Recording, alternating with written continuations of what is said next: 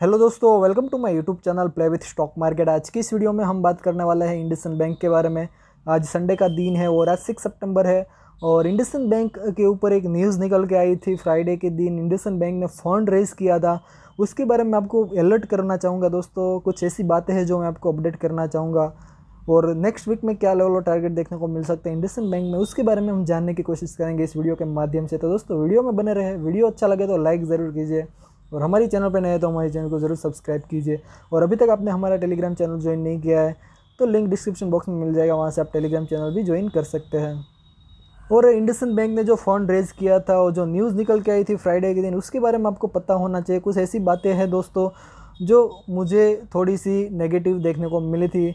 तो जैसा कि यहाँ पे बताया जा रहा है कि इंडसन बैंक ने तकरीबन तीन हज़ार दो सौ अट्ठासी करोड़ का फंड रेज किया है।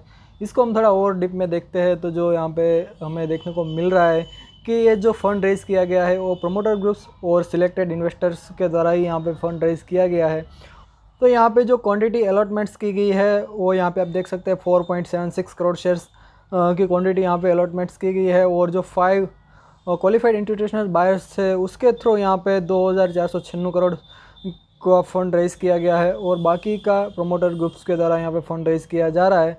और यहाँ पे जो क्वांटिटी अलॉटमेंट्स की गई है, उसका जो प्राइस निकल के आ रहा है, वो अपने आप में चौंकाने वाला प्राइस निकल के आ रहा है। पाँच सौ चौबीस रुपये पर यूनिट यहाँ पे प्राइस निकल के आ रहा है। और दोस्तों, आप सबको पता होगा कि येस बैंक का जब एफपीओ आया था बारह रुपये पे उस टाइम पे येस बैंक का जो प्राइस चल रहा था, वो तकरीबन चौबीस पच्चीस रुपये के आसपास चल रहा था और उसके बाद वहाँ से गिर के बारह रुपये तक भी आता हुआ हमें देखने को मिला था। तो यहाँ पे आप देख सकते हैं तकरीबन four point seven six crore की जो क्वांटिटी अलॉटमेंट्स की गई है, वो पाँच सौ चौबीस रुपये के प्राइस पे अलॉटमेंट्स की गई है और अभी जो इंडसन बैंक का प्राइस चल रहा है, वो तकरीबन छः सौ अठारह रुपये के आसपास चल रहा है। और यहाँ पे आप देख सकते हैं तकरीबन सौ रुपये का हमें यहाँ पे डिफरेंस देखने को मिल रहा है। तो एक यहाँ पे एक नेगेटिव पॉइंट भी बनता है। कि हमें इंडसन बैंक में गिरावट भी देखने को मिल सकती है और एक बात ऐसी भी पॉजिटिव निकल के आती है कि इंडसन बैंक ने जो फंड रेज किया है वो अपने आप में काफ़ी बड़ी बात है और इंडसन बैंक इस फंड का यूज़ इंडसन बैंक के ग्रोथ के लिए ही करने वाला है। तो ये पॉजिटिव पॉइंट भी है लेकिन नेगेटिव पॉइंट भी यहाँ पे हमें देखने को मिल रहा है। और ये जो फाइव क्वालिफाइड इंस्टीट्यूशनल बायर्स थे वो कौन है वो भी मैं आपको यहाँ पे बताने की कोशिश करता हूँ। और जैसा कि यहाँ पे आप देख सकते हैं हिंदुजा कैपिटल लिमिटेड है, जो क्वांटिटी अलॉटमेंट्स की गई है, वो यहाँ पे आप देख सकते हैं। और यहाँ पे जो दूसरे बड़े नाम निकल के आ रहा है, उसके बारे में मैं आपको बताने की कोशिश करता हूँ। और जैसा कि यहाँ पे आप देख सकते हैं I C I C Prudential life insurance जो यहाँ पे क्वांटिटी अलॉटमेंट्स की गई है, वो एक करोड़ बासठ लाख इक्कीस हज़ार। और यहाँ पे आप देख सकते हैं route one option master fund और यहाँ पे आप देख सकते हैं टाटा इन्वेस्टमेंट्स कॉरपोरेट लिमिटेड तो ये सभी बड़े बड़े नाम हमें यहाँ पे देखने को मिल रहे हैं।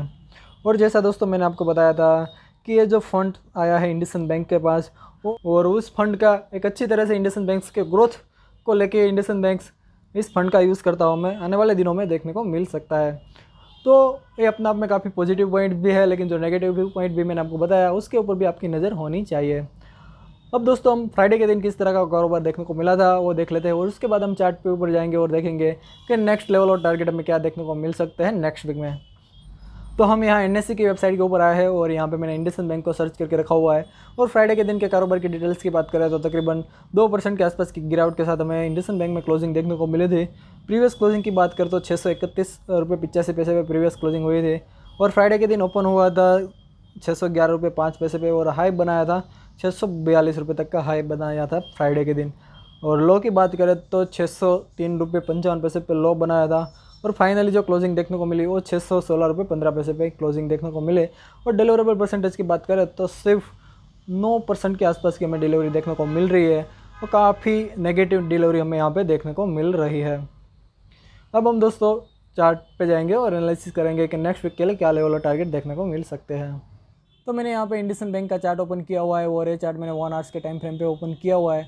और यहाँ पे मैंने कुछ लाइनें ड्रॉ करके रखी है और लेवल्स भी आइडेंटिफाई करके रखे हैं, जिसके माध्यम से हम जानने की कोशिश करते हैं कि नेक्स्ट वीक के लिए क्या लेवल और टारगेट देखने को मिल सकते हैं। और जैसा कि आप सबको पता है कि पिछले दिनों में इंडसन बैंक में ज़बरदस्त तेज़ी देखने को मिला था और तकरीबन हाई बनाया था सात सौ तक का और उसके बाद वहाँ से हमें अच्छा खासा करेक्शन भी देखने को मिला।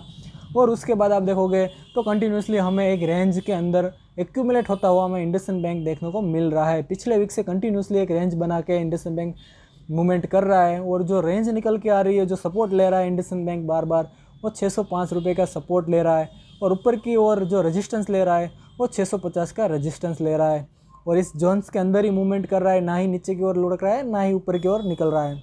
और जिस तरह से जो न्यूज़ निकल के आई थी, जो फंड रेज किया है इंडसन बैंक ने, और वो हो सकता है उसके चलते हमें इंडसन बैंक अगर नेगेटिवली रिएक्ट करता है तो अगर ये जो सपोर्ट ब्रेक करता है छः सौ का या पकड़ लो छः सौ का। अगर छः सौ के लेवल के नीचे लुढ़कता है इंडसन बैंक तो हमें जो दूसरा सपोर्ट देखने को मिलेगा वो पाँच सौ पाँसठ रुपये का सपोर्ट देखने को मिलेगा।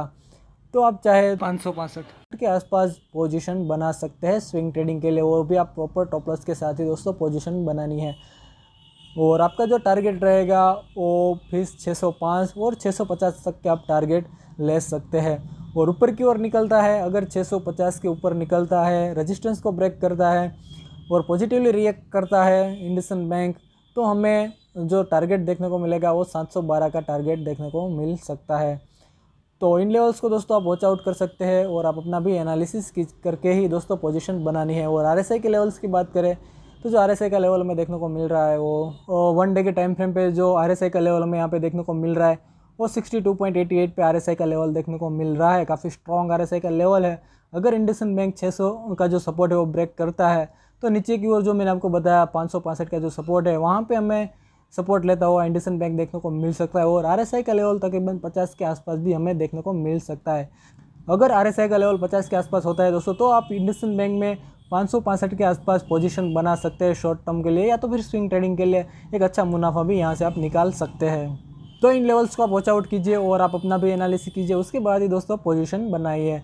वीडियो अच्छा लगा हो तो लाइक ज़रूर कीजिए और हमारी चैनल पर नए हैं तो हमारे चैनल को ज़रूर सब्सक्राइब कीजिए और अभी तक आपने हमारा टेलीग्राम चैनल ज्वाइन नहीं किया है तो लिंक डिस्क्रिप्शन बॉक्स में मिल जाएगा, वहाँ से आप टेलीग्राम चैनल भी ज्वाइन कर सकते हैं। तो इस वीडियो में इतना ही। Thank you again for watching this video